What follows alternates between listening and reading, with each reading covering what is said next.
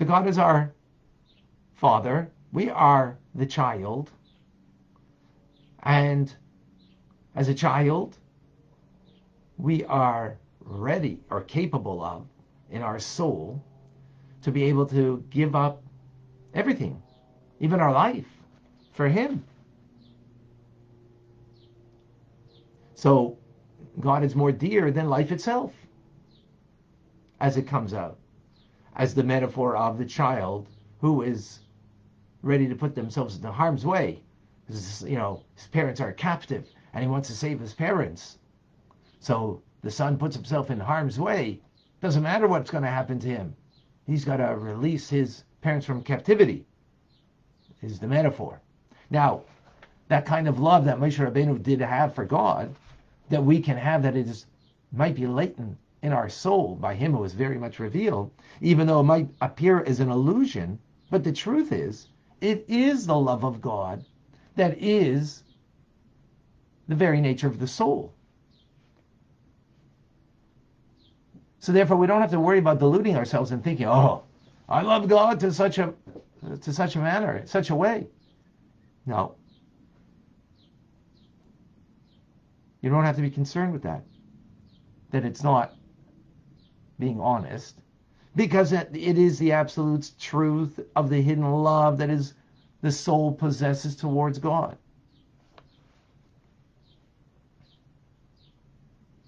It is.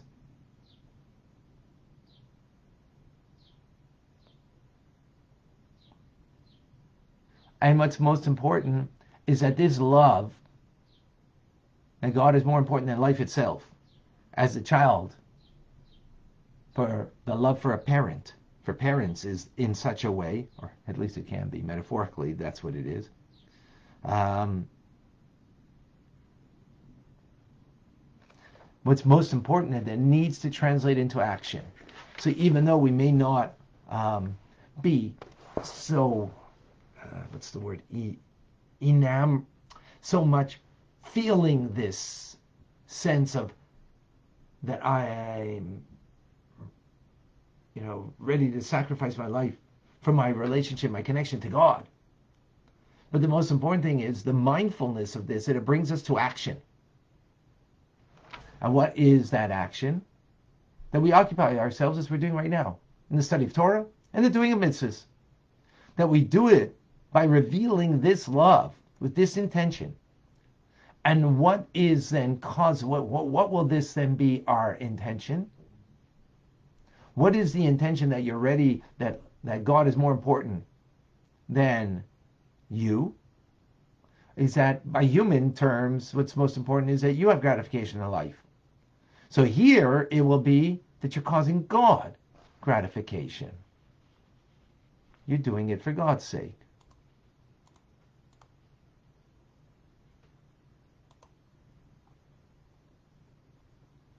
Uh, James, please stop um, putting things of nonsense on the uh, the comments. We don't want to have to remove you.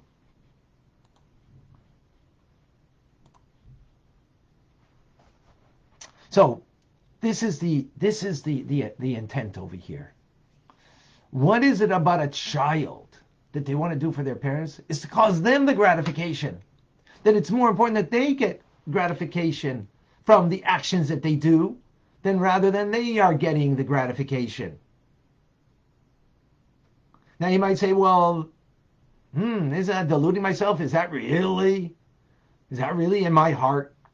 So we learned previously in the Alter Rebbe quotes again, the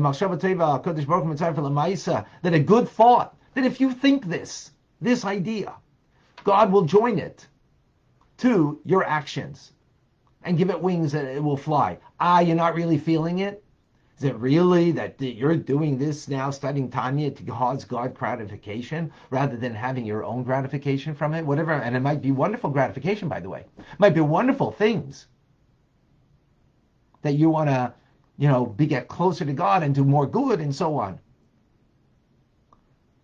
But that's not the idea of that God is more dear to us than ourselves. The greatest thing we can do for ourselves is gratify ourselves. Well, the metaphor of the child, of the son, who puts himself in harm's way to save his parents from a difficult situation, putting himself in harm's length, harm's way. Because more important his parents than him. So what's more important for us in God? That we cause him the gratification.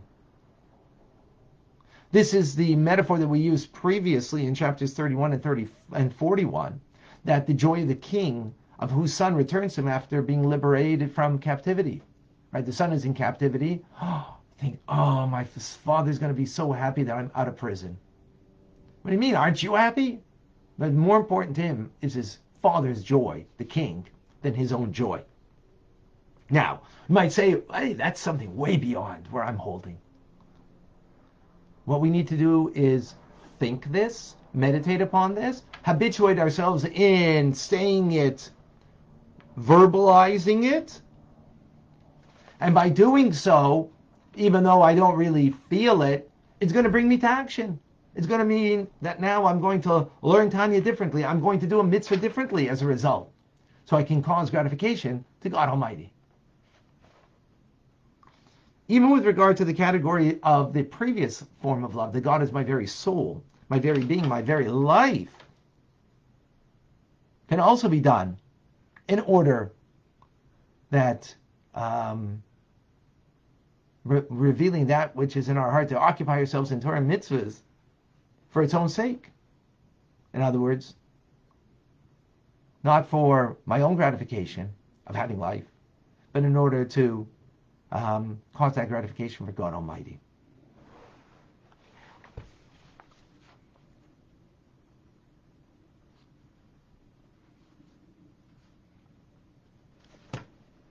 Powerful ideas that we can have in our lives of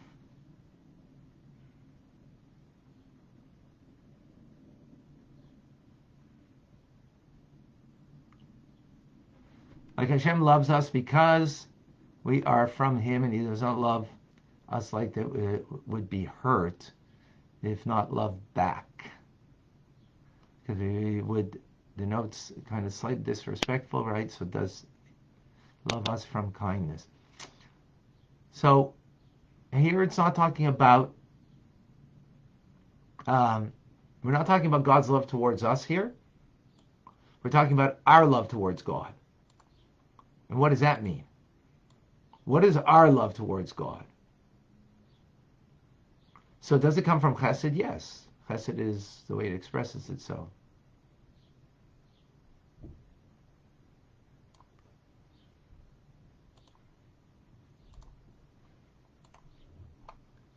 Um, all love, yes, comes from chesed, from kindness, from in our soul, which is propelled by love. Absolutely. So this is what we have the capacity. This is a phenomenal when you think about it. That we are ready to do for God more than we are ready to do for ourselves. Ah, we may not feel that. We may not feel that. That's okay. Let's think it. Let's say that. May Hashem have um, nachas from what I'm doing. May Hashem have pleasure from what I'm doing.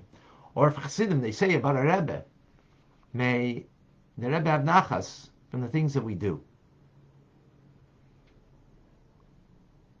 Yeah. Aaron, I'm further in Tanya's, uh, I guess. Yeah. Okay.